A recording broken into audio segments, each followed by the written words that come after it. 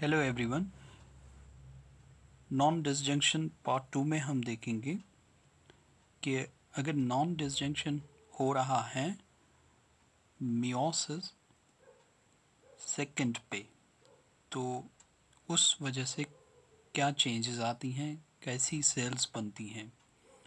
आपको याद होगा कि पार्ट फ़र्स्ट में ही हमने सीखा है कि नॉन डिसजंक्शन क्या है? Non disjunction it's a failure किस टाइप का फेलियर है। Failure of chromosomes to disjoin and move to opposite poles during meiosis अगर आपने वो वीडियो नहीं देखा है, शायद ये समझ नहीं आएगा।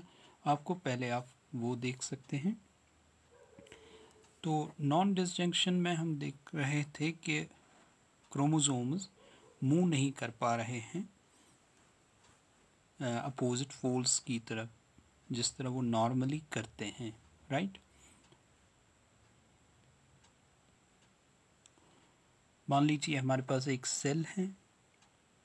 ये है हमारे पास सेल इस सेल में हमारे पास दो क्रोमोसोम्स हैं, यानी एक पेयर ऑफ़ क्रोमोसोम्स हैं राइट अब ये जो पेयर ऑफ़ क्रोमोसोम्स हैं, ये डबल हो रही हैं ओके यानी इसमें सिंथेटिक फ़ेज़ आ गया तो now each chromosome is represented by two chromatids which are photocopies of each other okay इतना तो आपको पता है।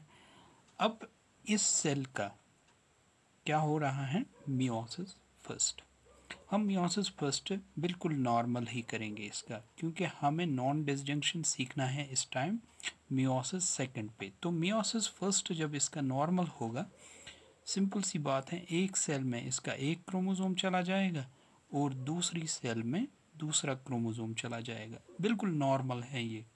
अगर नॉन डिसजंक्शन होता, जिस तरह हमने पिछले वीडियो में देखा तो ये दोनों क्रोमोसोम्स एक ही सेल में चले जाते और दूसरी सेल जो थी, वो खाली की खाली रह जाती। राइट आगे बढ़ते हैं हम। अब चलिए इस सेल का नाम रखते हैं हम ए और इस सेल का नाम रखते हैं हम बी ये जो ए वाली सेल है, इसको हम नॉर्मली आगे ले जाएँगे। अब इसका मान लीजिए मियोसिस फ़र्स्ट के बाद मियोसिस सेकंड हो गया राइट मियोसिस सेकंड अब मियोसिस सेकंड में होता क्या है? कि सेंट्रोमियर ब्रेक होते हैं और क्रोमेटिड्स मूव करते हैं towards opposite poles in oppose cells okay in two daughter cells तो दो डॉटर सेल्स इसकी वजह से वजूद में आ गई। तो इसका तो बिल्कुल नॉर्मल हो गया ये। नॉर्मल गेमीट्स बनाए इसने राइट ऐसा ही होना चाहिए था। अब इसमें हम देखेंगे कि इसका भी मियोसिस सेकंड हो गया। लेकिन इसके मियोसिस सेकंड में एक प्रॉब्लम हो गई, जिसको हम बोलते हैं नॉन डिस जंक्शन राइट एक सेल बनी इसमें और दूसरी सेल भी बनी, लेकिन चाहिए था, एक सेल में एक क्रोमोसोम चला जाए, दूसरी सेल में दूसरा चला जाए, जिस तरह ए सेल ए वाली सेल में हुआ था, नॉर्मली हुआ था, ऐसा नहीं हुआ। तो ऐसा न होने की वजह से दोनों क्रोमोसोम्स कहाँ चले गए? दोनों क्रोमोसोम्स चले गए एक ही सेल में, और ये जो दूसरी सेल थी, वो खाली की खाली रह गई। तो अब तो भाई चार सेल्स इसमें बन गए। ये पहली सेल ये दूसरी सेल ये तीसरी सेल ये चौथी सेल अब देखिए इन सेल्स का क्या है। ये बिल्कुल नॉर्मल सेल हैं क्योंकि नॉर्मली इसमें हो गया है डिसजंक्शन हम्म, ये भी नॉर्मल सेल है लेकिन ये एबनॉर्मल सेल बन गई। क्यों बन गई एबनॉर्मल सेल क्योंकि अब ये एबनॉर्मल इसलिए हैं एबनॉर्मल इसलिए हैं क्योंकि इसमें दो क्रोमोसोम्स हैं। ये एबनॉर्मल इसलिए हैं क्योंकि इसमें कोई क्रोमोसोम नहीं सॉरी उसको क्रॉस से नहीं दिखाएँगे। इसमें कुछ नहीं है, इसमें कोई क्रोमोसोम नहीं है। तो ऐसी ही एबनॉर्मल सेल्स फॉर एग्ज़ाम्पल ये वाली एबनॉर्मल सेल ऐसी एबनॉर्मल सेल्स जब ज्वाइन करती हैं किसी नॉर्मल गेमीट के साथ तो ज़रूर कोई ना कोई सेंड्रोम वजूद में आता है। फॉर एग्ज़ाम्पल हम नॉर्मल सेल्स को छोड़ के इन दो एबनॉर्मल सेल्स की तरफ़ आते हैं। फॉर एग्ज़ाम्पल ये जो सेल हैं cell number three cell number three ऐसी है हमारे पास, है ना? वन सेकंड हम ब्लैक से ही दिखाएँगे ताकि कोई कंफ्यूजन ना हो जाए। इसमें दो हैं।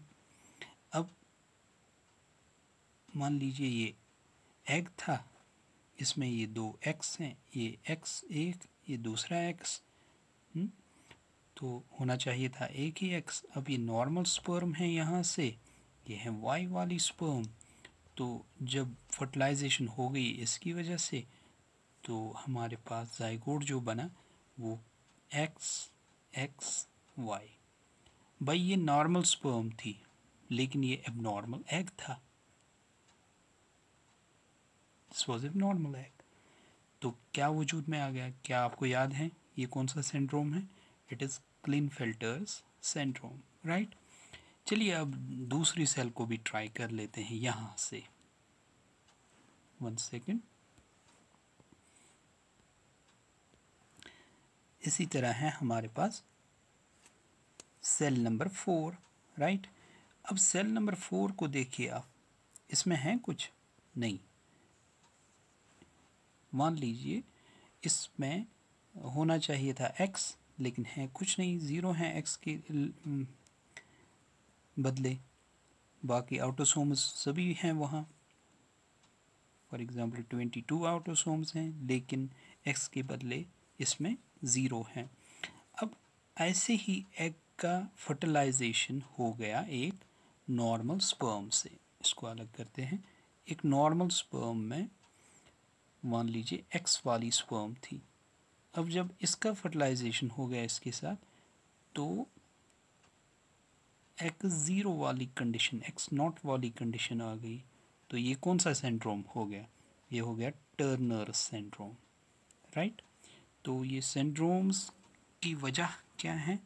सेंड्रोम्स की मेन वजह यही है कि नॉन डिसजंक्शन हो जाता है। What is non disjunction it is the failure of chromosomes to disjoin and move to opposite poles during meiosis right hope आपको ये बहुत क्लियर हुआ होगा।